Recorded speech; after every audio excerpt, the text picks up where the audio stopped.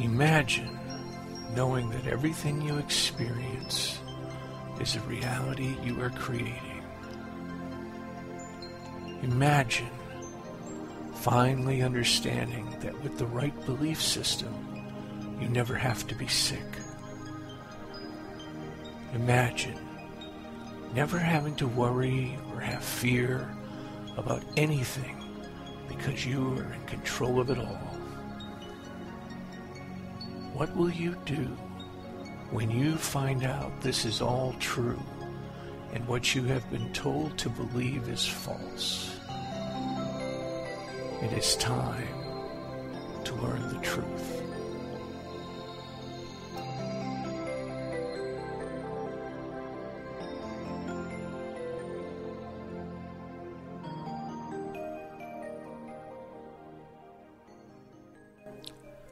Good evening, everybody, and welcome to another edition of Reality Changer Radio. It is Tuesday, October 15th, and uh, tonight we're going to talk about everyday life.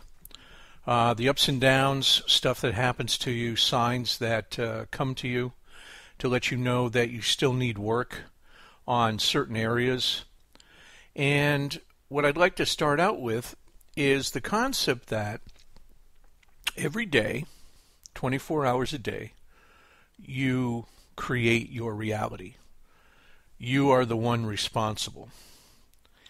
And I know that's a hard concept for a lot of people to wrap their heads around, especially when I say that there's no other person to blame for your crappy day at work or somebody cutting you off at the grocery store or whatever your crappy day looks like. There's also no one else to congratulate when you're having an awesome day because it's you doing that. Okay? The single most important thing for you to understand is that no one can control your reality. You can allow them certain say in things that you do and by your perception of what they do, your reality changes. But you have chosen to change your perception of what they do. I want you to think for a minute about people that cut you off at the grocery store. Let's say you're going to the parking lot and you find a really cool spot and somebody just cuts you right off. You know, and the first the first reaction because we've been taught this with the old school programming is you bastard. Look at him just cut me right off. He didn't even care. He did not even care. The question you have to ask yourself is did he see you? His reality is I'm going to get a parking spot no matter what. Now, this goes really deep and it goes into quantum physics and the whole mess, but did he really see you? You may not be in his reality, even though he's in yours. And you say, well, why? Why is that? Well, he may be in yours to point you back inside from the external so that you can take another look at yourself and wonder why you're getting upset at people. He also may be there to point you back inside because there's some limiting belief stopping you from getting what you want at a certain moment. Everything is a sign. You have to understand that everything is a sign. Every time that you get yelled at or get praised or somebody does something wrong that you, you think is wrong, that's a sign. And one of the things that's happening today um, with the so called bad economy and again, that's all in your perception of it, is that people, because of the old school programming, have been taught to point fingers when things don't go right, and especially with everything else that's going on today. You know, people want to uh, do legislation and they want to get out and they want to march in the streets and they want to do all this other funky stuff that has nothing to do with the real source of the problem. It's putting a band aid on an open wound. Eventually, you're going to bleed out. Because how many marches, how much legislation, how many meetings, how many talks, how many screamings, how many shootings, how many times do we have to repeat the external cycle before, as a community, we finally get it that dealing with issues on the external don't change them. If they change them at all, it's for a short period of time, and then we're right back to where we started. How about that song by The Who? We won't get fooled again, right? It's listen to that song. Okay? It's the same thing. Things are still the same because nothing's really changed. We're so focused on the external that we lose sight of what's real and what really matters. Most things don't really matter because they don't really exist. And they don't really exist because all of this is an illusion that we as spiritual beings created. Okay? You have to keep that in mind. This only exists because you created it. You don't like it, and that's fine, and it causes you pain, and it causes you anger, and it causes you to be upset because of your old school programming. Remember the conscious mind and the subconscious mind. You know, instantly you would say, Well, I would never choose to do this. I would never choose this kind of life. No, of course not, not on a conscious level. But your conscious mind is not the one running the show. Let's get over this. The conscious mind is not the one running the show. When you get on Craigslist and you send out 27 applications and you don't hear anything back, the last thing you need to do is to start whining that nobody's responding to you. Nobody's this, nobody's that, nobody's this, nobody's that. The first thing you need to do is start to look inside and tr- find out, ask yourself, why is it I didn't want those jobs? Because that's really what's going on. You didn't really want to work there. Okay? And you say, well, you know that. You don't know my story. You don't know my situation. And I would say to you, bull hockey because I don't have to be in your situation to know you and what's going on with you. I don't have to be a parent in order to counsel parents on the proper programming in order to make their kids successful and to make their kids awesome manifestors. That's old school programming. That keeps you away from the people who know what they're doing and talking about. And it keeps you isolated. It keeps you inside the box. And the best part for a lot of people who like to control people about you being inside the box is when they keep you ignorant. Because first they make you fearful and they keep you ignorant with your fear. So you're inside the box because you're fearful and you're ignorant at the same time. So you spin and you spin and you spin and you spin. You're fearful and ignorant, fearful and ignorant. And the more ignorant you get, the more fearful you get. Because you've been taught not to go to go to these experts or these people that understand what's going on. No, no, no, no. You don't understand my situation. No, you're wrong. Because we're all doing the same thing. The the external is our creation. And for some reason, the conscious mind wants to make everything so difficult, but it's not. Let me lay it out for you, folks, because it's, it's black and white here. It's not rocket science. The same programming effects and changes that happen when you're a little kid happen when you're an adult. The same methods of programming and deprogramming and reprogramming, those same methods are the same ones you would use for a child or an adult. They are the same ones you would use if someone wants a new relationship or wants a new car. You see, this is the thing that I keep trying to tell everybody.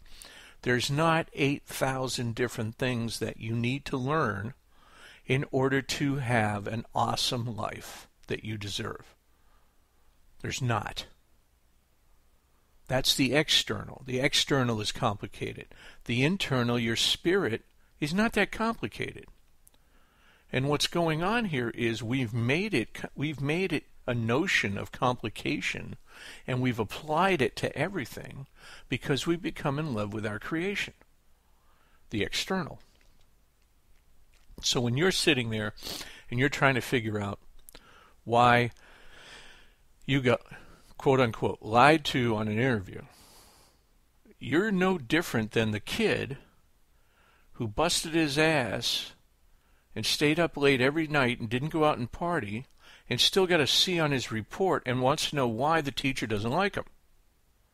You're no different. It's the exact same situation.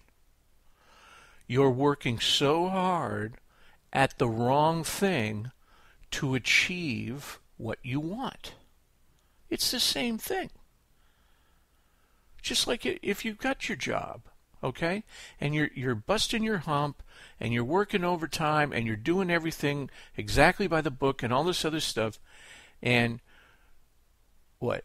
Nobody recognizes you and you still get yelled at. It's the same thing. You're working way too hard at the wrong thing to achieve what you want. And all of that comes from old school programming. All of it comes from the concept that you have to do A in order to get B and that you you need to not concern yourself with B, concern yourself with A. The problem is B is where you should be putting your energy, not A. How many of you out there would love it if you could get everything you want and work half the time? Hmm? Tell me you wouldn't do that. How many people out there would love to be able to live a different life other than money is the key to happiness? Because as I've told you before, you can look at a lot of people who have a ton of money, a lot more than you, and you can find many, many different ways that they are not happy. Divorces and lawsuits and, and on and on and on. Bankruptcies and they have to come back from it. Who wants to come back from it? Oh, goody, you can come back from it. Who wants to? Stop it. Just because you can doesn't mean you should. I mean, think about it, everybody. You got ten million dollars or a billion dollars, and and because you're still of old school programming, stuff doesn't go right, and you end up bankrupt. A lot of people, especially self-made millionaires, would go, "Ah, that's nothing. I'll have that back in a year or two. Why should you have to? Why should you? Why don't you stop using the old school programming Make your money once and keep it. What? What? That's how that's that's how important it is for everybody listening around the world to catch on to the concept that every one of your situations is linked to a similar source of of uh, problem. Okay, and it's because of your old school programming you're taught that you have to look at this in order to have this. And if you're not looking hard enough, then you're taught to worry. And then you start worrying about not having this. Well, guess what? Here's a clue everything you worry about is going to happen. Everything you don't worry about is going to happen. Okay? So every time you're worried, let's say, you know, oh, I'm not going to be able to pay the bills. I don't know how I'm not going to pay, pay the bill. Guess what? You're not going to pay the bills. Or something's going to fall in the in the way, and you, your conscious mind is going to justify everything and make you the victim once again. And then the cycle repeats itself. And then you say to yourself, there's no way out. You feel desperate. You feel trapped. You feel alone. There's no way out. I'm telling you, there's a way out, and it's the same way for somebody on Skid Row, and it's the same way for somebody in Bel Air or Beverly Hills. Because we are all the same. No one, regardless of their station or status, has more power than the other person. And no one has different sources of problems than the person next to them. If somebody's having a problem with A and somebody's having a problem with B, the problem for both of those people come from the same source. It's their belief system and emotional blockages. That's where it is. And it could also be the fact that they refuse to believe they're in control. You know, people, I, I see it all the time on, on Facebook and other places. People go, Oh, you know, I got lied to in an interview and I'm so desperate and I'm this and I'm that and I, I, I got to have a job and blah, blah, blah. And it's just, wow. Get a hold of yourself. Do you not want to control what's going on? Because you can. Do you want to live the next 50, 60 years from paycheck to paycheck and scraping every dime and worrying about this and worrying about and oh let's and let's take that one step further and then worry about if something happens, how am I going to pay the hospital bills? Guys, girls, we have to change this. There's no reason to have hospital bills. And for the same reason you wouldn't have hospital bills is the same reason you wouldn't have all the other crap in your life. You wouldn't have people lying to you, and you wouldn't have this, and you wouldn't have that. And it is the exact same reason that you would have stuff. Because your emotional Esther Hicks puts it really nice, your emotional guidance system. Your emotions and your feelings are going to dictate the energy that you send out into the universe. And that energy is used by the law of attraction. And that is going to attract more and more of what you put out there.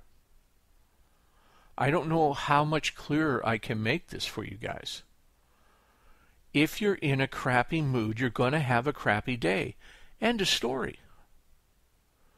If you're in a little bit of a crappy mood, there's a good chance that your day could turn out to be really nice and you, and you change your tune.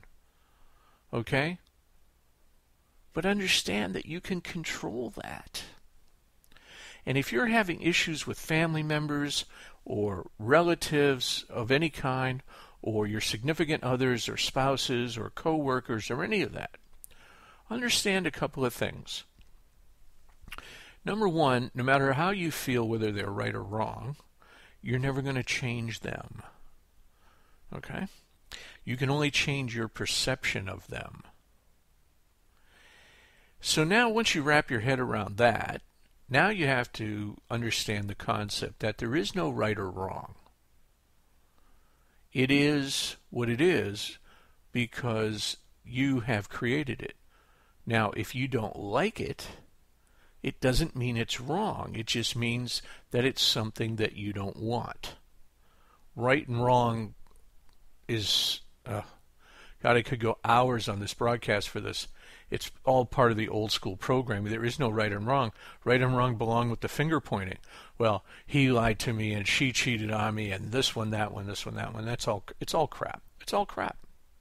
It's all crap because you control it all by default or deliberately. And that's that's a commitment you have to make to yourself. If you're not happy with the way your life is, you have to make the commitment to change. That's like I said in my last broadcast. How committed are you? What are you worth? Okay? So, anybody that's having an issue with you, it's you having the issue because they don't really exist unless you want them to. This this gets into the quantum level here. These people only exist in your reality because you feel there's a need for that. Now, on a conscious, I'm not talking about a conscious level here. So, you know, hold hold your judgments here, because those judgments come from the conscious level, and I'm not talking about the conscious mind. It has nothing to do with this. It's only an observer. Okay? It's an observer. It's the control panel. It's the computer terminal. And the subconscious mind, which is really running the show, is the program. You don't like what's on TV, you change the channel. You don't like what's on your computer, you don't like the way the computer program's running, you change the program. Okay? So you have to understand that you can make yourself happy or you can make yourself sad using the same methods. Everything that is done on a plus can be done on a minus using the exact same techniques, only reversed. So, however you make yourself happy, you can use that same technique to make yourself sad. So, once you start figuring out how it is that you made yourself uncomfortable, don't think that there's a, a separate solution that you have to go find now. No, no, no, no, not at all. Own that realization that you made yourself uncomfortable and become one with the idea of how you made yourself uncomfortable. And then take that how and change the uncomfortable to happy. You know, it's like, let's say you put on the wrong tires on your car. All right, so you want to put the right tires on your car. Well, you're not going to do it a different way. You still have to take those old tires off and put on the right ones. And the way you do that is exactly the same no matter what kind of tires you put on your car. You have to undo the bolts, you have to jack it up, you have to do this, you have to do that, you have to put the other one on, you have to tighten it, blah, blah, blah, blah, blah. The whole thing. The processes that are in place to make you uncomfortable and that make you sad or angry are the same processes you use to reverse those feelings. It's not a separate solution. So once you figure out what you did, you go, okay, now I know how to create an emotion. Okay, so because that's really what we're talking about here. You've just learned how you create that type of emotion. How did I make myself angry? Well, I did this and this. Okay. So now do that and that in a different fashion to make yourself happy. Okay? Well, I believe that this and this and this. Fine. Then don't believe that. Believe something else. Believe something better. Believe something happier.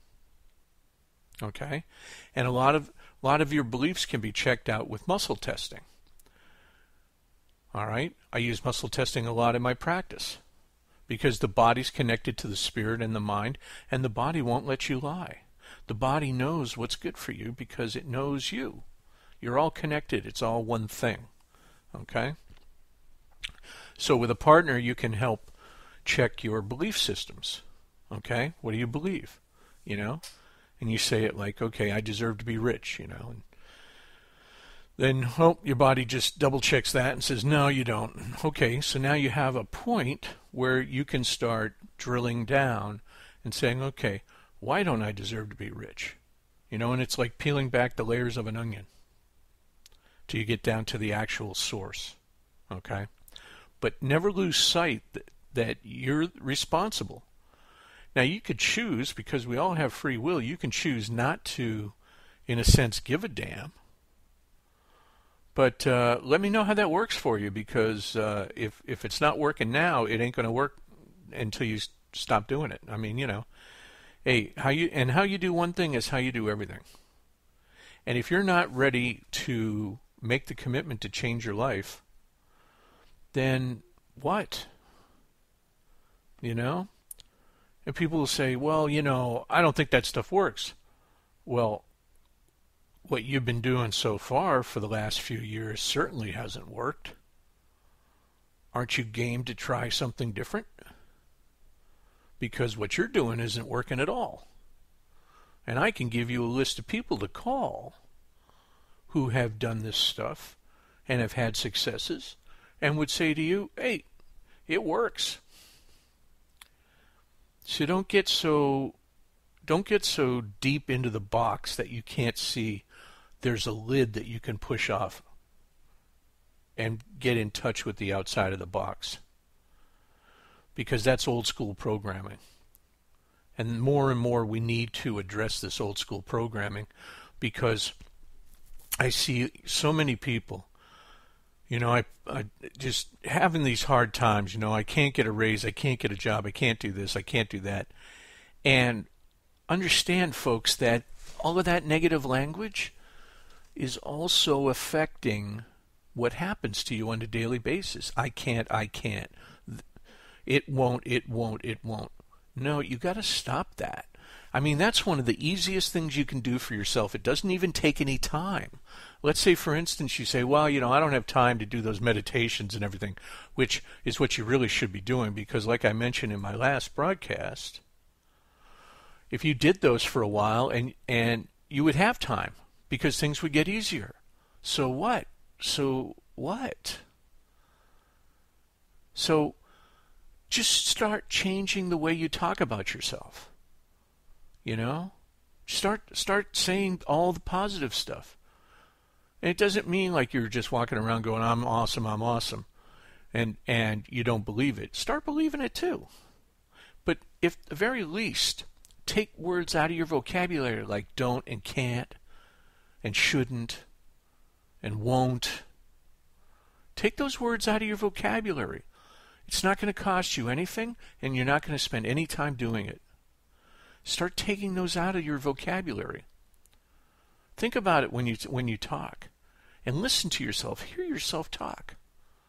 Maybe even just record yourself a couple of times if you're not sure how it is that you're talking about yourself or talking on a daily basis. You know? Trust me, when, when I say this stuff, I'm talking about every conversation you have about everything. Okay? Because it all affects your belief system. Your words have power, the spoken word has power, they all have energy, and they all affect your belief system. So let's say, for instance, um, you've got a neighbor across the street, and you say, he's never going to do this, he's never going to do this, he's never going to do this. Well, as far as you're concerned, he's never going to do this. So you're never going to be there or notice it or appreciate it if he does do this because your belief system says he's never gonna. Okay? That's just a small example of a typical conversation you would have about some third party thing. You know, it could be a store, it could be the government, it could be anything. Start taking those negative words out of your vocabulary. And when people want to be around you and start doing that stuff, just, you know, hold up your hand. Be nice as you can and just tell them, look, you know, I, I don't do this anymore. I'm trying to do this new stuff, and uh, and I think it's going to work. And if it does work, then I'm just going to not do this anymore. So please, you know, cut me a break, and don't try to get me involved in this negative conversation. And if they like you and and and they're friends or or they love you and relatives or whatever, they will understand. Just be nice about it. You know, you don't have to be an ass. Just be nice about it.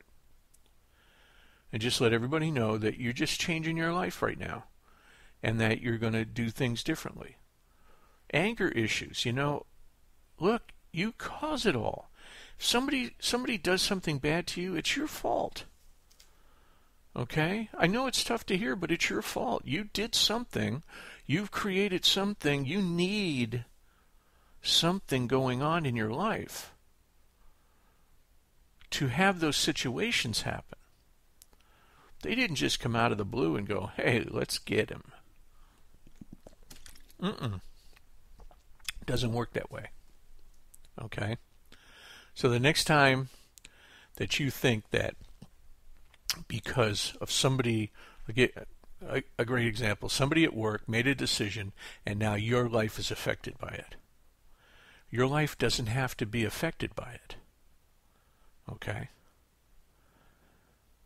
You can manifest an awesome day at work irregardless of the decisions they make, because their decisions only affect you if you allow them to affect you. And people say, well, you know, the guy's in charge.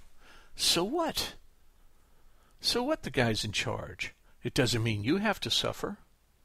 See, that's old school programming, folks. Just because you're part of the mix doesn't mean you have to be part of the mix. It's much easier to go along with the status quo. Tuck your tail between your legs and follow along like a nice little slave. It's way easier to do that, but it's also way more uncomfortable in the long end. It's way more uncomfortable because you're going to get stiffed like everybody else is.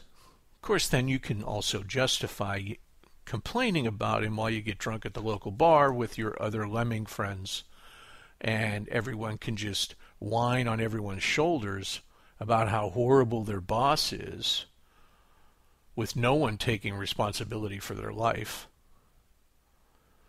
He's only horrible if you allow him to be in your reality. I'm telling you, I know it sounds weird to some of you people, but you can do these things. You can have 10 people all have the same boss. Nine people are dying on the vine because he's just an idiot and he's just a slave driver and does all these things. And one person is like, whatever, I'm having a good day. You're like, what, dude? You know, the first thing we want to do is we want to corral them into our little clique of whiners and moaners so that he can point the finger along with us, or we'll try to help him point the finger. And he doesn't want to go. And he's not as angry as you. Why is that? Because he's controlling his reality because the boss doesn't really exist. All of this is an illusion. You see? This is the thing. We get wrapped up in this illusion and we think it all matters. But none of it matters. None of it really matters. So play with your illusion. Don't don't allow your illusion to cause you despair because you forgot that you created it. Don't allow your illusion to cause you heartache because you refuse to control it even though you can. It's all an illusion. And we're vibrating on a physical level so we can't see it most of the time. Once you start meditating and go to a higher plane and vibrate at a higher plane, you can see this stuff disappear. I'm telling you straight up because we create it. And then when you choose to in your meditation, you can come back down to this vibration and it all rematerializes. Okay? But what I've found lately for most people is the concept that it's all an illusion and none of it really matters really, really helps when people are trying to control their daily activities as far as how it's going to work out for me today. And, you know, don't make yourself wrong when you hit bumps in the road. You know, nobody's perfect. You know, like I tell everybody, you know, 40 years and I still I still hit roadblocks. And I still have to sit back and and I fortunately I have my wife point me back in sometimes if I can't do it. Uh, sometimes I'll just mention something and she'll go, Oh, hey, what about this? Do you need to tell this guy this? And I'll go, Oh, that's right. Okay, so don't make yourself wrong when it doesn't work. Know that it won't work, but know that as a sign. Look, if you're doing all the right stuff, you're doing the techniques and everything, and at the very least, folks, you should be doing that happiness meditation every single day. Seriously. Because that's going to put out your happiness energy. And that energy is going to attract more happiness. And the more and more that you have that, the less and less crap you're going to have. Because there won't be any room for it. Okay? These are basics and these are so easy, but you have to do it in order to prove it. You know what I mean? You have to do it. You can't just listen to it and go, oh, that's a nice concept, boy. You know, I wish I had time. What do you mean you wish you had time? Don't do that to yourself. This is all your creation. You have all the time in the world. You have eternity. In a physical level, you, you don't have much time. Okay, fine, whatever. You know what? You got 120 years, 150 years, something like that. Look, you're not physical, you're spiritual. You're playing around with this physical stuff. You have eternity to, to make changes. And you're going to come back. You, you know, you, you, you wait and you, you procrastinate and you do all this stuff now. You can come back and do it again. No big deal. We've been doing it forever. But do yourself a favor and start making yourself happy on a daily basis, no matter what it is. Look, okay, you don't want to take 15 minutes, then get something on your phone that makes you smile. Okay, we're all addicted to these phones now. God, save me. We're all addicted to cell phones now, so you probably have one. And look, let's say for instance you've got a 10 minute break at work or whatever, and you got a picture of, a, of a, your grandson or uh, nephew or whatever. All right, picture of a cat, picture of a flower, whatever that makes you smile. Then take the time, take that five or ten minutes, and look at that and just be alone with it. And just be happy with it. And really feel what that does to you. Feel the happiness, feel the emotion. I'm telling you, folks, this is how you do it. This is how you start. And do it every day. Do it every day. And get happy about it. And get grateful that you can do that for yourself. And that you're on the right path. Just start making yourself feel better. Because if you're not happy, if you don't feel happy with what you're doing, then why, why are you doing it? And I mean everything your relationships, your job, uh, whatever. You're making something for yourself and you don't like it. Stop it. You know? You're doing something because you think you have to because of the old school programming and it doesn't please you. Stop it. Stop it. We're not we're not physical beings. We have no one to answer to on a physical level. No one. On a spiritual level, we're all connected to the source. We're all of God. And because we're all of God, we all manifest 24 7. Dig it. Use it. Control it. You don't have to control it, but understand that if you're not living the life that you deserve or that you want to live, it's because you're not controlling it. So now what? Now that you know that, now what are you going to do? Okay? So before I end here, um, let me tell you a little bit about what's going on this week. Uh, let's see here. Uh, this Saturday at 11 o'clock, 11 to 12:30, I will be hosting a meetup at my place using the law of attraction uh, with your workplace. And uh, it's a lot of what we talked about uh, tonight, and it's some really cool stuff. And uh, I got a special guest to have some firsthand uh, information and experiences. Uh, the 26th of this month, I'm going to be at the Learning Light Foundation in Anaheim from 2 to 5 and doing a uh, three hour workshop, uh, Law of Attraction 101. We're going to get down and dirty and uh, dispel all the myths and everything, and even teach some techniques that people can uh, go home with. And everybody that shows up is going to get a free CD uh, with my uh, latest creation, my latest creation, my first creation. Um, it's a custom uh, hypnosis relaxation MP3. It's about 15 minutes long, and I have had nothing but great reviews from it. I designed it so that you could take it, you put it on your phone, you do it at lunch, do it at breaks, do it whatever. And it shuts down your conscious mind and allows you to relax and let the positive energy come in and the negative energy go out. And everybody loves it. So everybody that comes out to Learning Light on the 26th will get that for free. And uh, we've got uh, new stuff coming out uh, next month. But uh, Halloween's almost here. I hope you guys have an awesome Halloween if you don't listen to this broadcast again. Um, this week is uh, going to be an awesome week for me. I hope it's an awesome week for you. And I hope that you just start making yourself happy. Please imagine if 90% of the world spent 80% of the day trying to make themselves happy. What would that look like? What would that look like?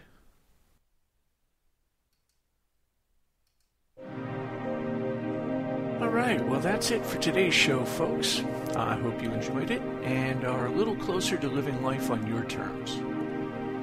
Join me next week, won't you, for another mind blowing show about the truth of reality. Until then, my reality is not your reality.